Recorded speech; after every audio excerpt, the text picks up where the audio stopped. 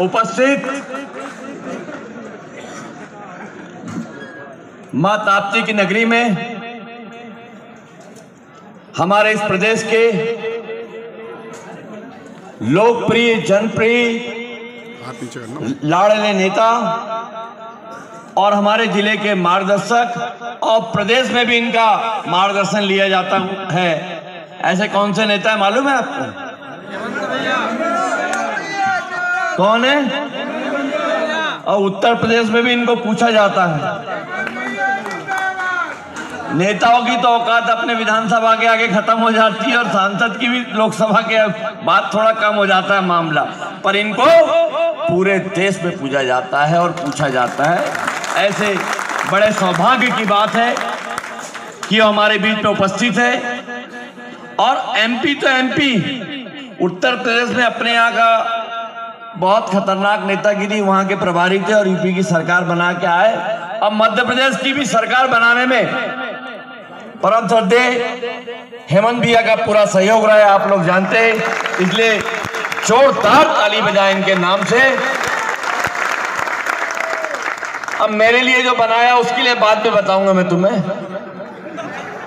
हमारे इस जिन पे माँ गायत्री प्रसन्न है और साधक है। साधक से नेता बने साधक से कौन बने हैं मालूम है? बताओ। क्या बात है यार, इनका तांत्रिक सब जानते हो मतलब तंत्र मंत्र। ऐसे हमारे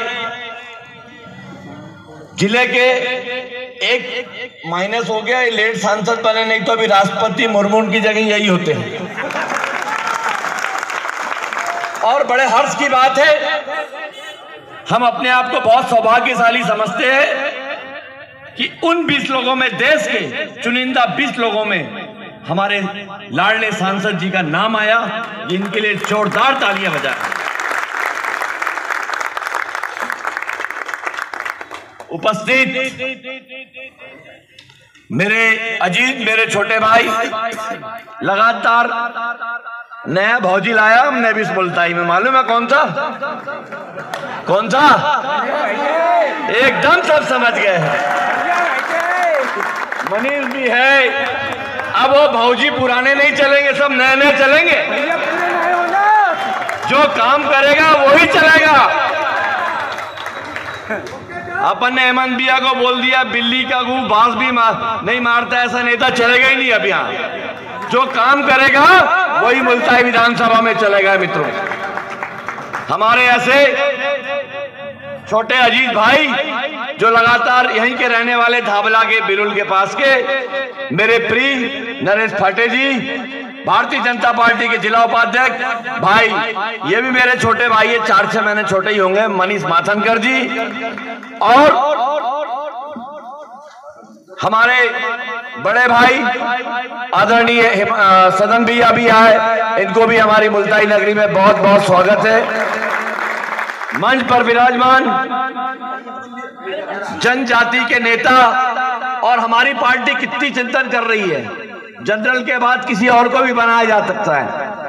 पर हमारी भारतीय जनता पार्टी ने एक ऐसे नेतृत्व को मौका दिया जो अनुसूचित जाति के लोकप्रिय नेता हमारे साथ जिला पंचायत के उपाध्यक्ष बने। हंसराज ध्रुवे जी और मेरे साथ भारतीय जनता पार्टी और जिला पंचायत की सदस्य दो दो बैठी होगी आदरणीय हमारी गवाड़े भाभी जी और तीन तीन बैठी है सोनू जी और कंचन। ये तीनों हमारे क्षेत्र की है और सत्रह ऐसे सदस्य इनके सहयोग से मैं जिला पंचायत का अध्यक्ष बना। इनको बहुत बहुत धन्यवाद देता हूँ। मंच पर विराजमान युवा मोर्चा के अध्यक्ष, हमारे छोटे अज़ीज़ भाई, भास्कर मगरदे जी, जनपद के अध्यक्ष